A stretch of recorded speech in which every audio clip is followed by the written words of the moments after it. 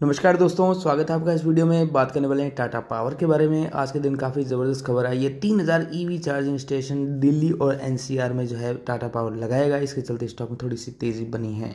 आगे बढ़ने से पहले छोटी सी रिक्वेस्ट है, आप चैनल पर नए आए हैं सब्सक्राइब नहीं किया तो भी कर लीजिए। साथ ही बेलाइकन को ज़रूर प्रेस कर लीजिए। तो देखिए, खबर आप देख सकते हैं चार्जिंग स्टेशन लगाने के लिए बी e के साथ करार किया गया और दिल्ली एनसीआर में 3000 ईवी चार्जिंग स्टेशन जो है टाटा पावर कंपनी लगाएगी और बी e के बारे में देखेंगे।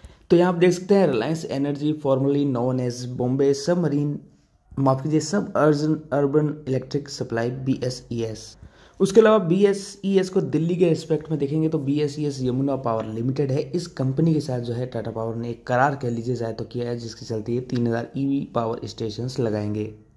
उसके अलावा एक नज़र डालें अगर कंपनी के फाइनेंशियल के बारे में तो देखिए मार्केट का बहुत ही ज़बरदस्त है, बहुत हज़ार तीन सौ दस करोड़ की आपको देखने को मिलेगी। बुक वैल्यू ठीक है कंपनी की, जो कि seventy four point three three rupees की है, उसकी तुलना में स्टॉक आपको ज़्यादा महँगा नहीं दिखेगा।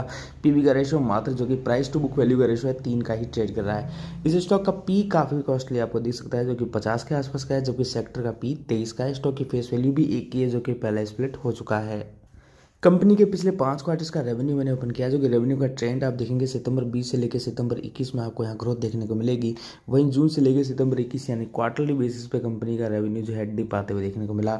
और इसको मार्च इक्कीस से क्वार्टर से अगर कंपेयर करेंगे तो आपको लगातार रेवेन्यू में कंपनी के डिप आते हुए देखने को मिल रहा है। अब क्यू के नंबर जो है आना स्टार्ट हो जाएँगे सात आठ जनवरी दो हज़ार बाईस से मतलब आने वाले दो चार दिनों में। तब इन कंपनी से जब नंबर आएँगे, तब देखेंगे किस तरह के नतीजे हैं। उम्मीद करते हैं अच्छे नतीजे अगर कंपनी पोस्ट कर पाती है तो स्टॉक को और तेज़ी मिल सकेगी।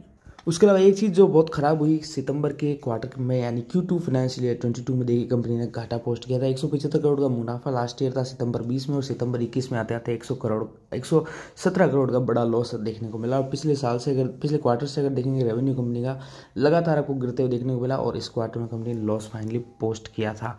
अब कंपनी जो क्यू थ्री के नंबर्स में अगर मुनाफा पोस्ट करती है तो काफ़ी बेटर रहेगा। अगर घाटा ही पोस्ट करती है, अगर घाटा बढ़ जाता है तो फिर वो अगेन चिंता का एक विषय स्टॉक के लिए बनेगा।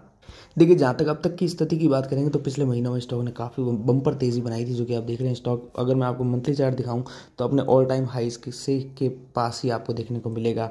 जो कि इसका कहने का अर्थ है प्रीवियसली कोई स्टॉक के पास हर्डल नहीं है। और साथ ही बात करेंगे, अगर बाउंड वीक की हाई की ऑल टाइम की हाई की तो देखिए दो सौ सड़सठ अड़सठ की रेंज तक स्टॉक जाकर काफ़ी ज़्यादा गिरा और दो बार सपोर्ट लिया करीब करीब दो सौ पाँच रुपये के आसपास।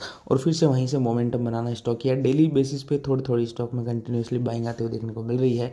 225 के एक लेवल के ऊपर आज स्टॉक ने फाइनली बंदी दी। उम्मीद करते हैं अगला टारगेट करीब करीब 232 से 235 की रेंज का बैठ सकता है। अगर वो निकाल लेता है तो फिर 250 तक जाते हुए देखने को मिलेगा। किसी ने बाय कर रखा है तो होल्ड कर सकते हैं।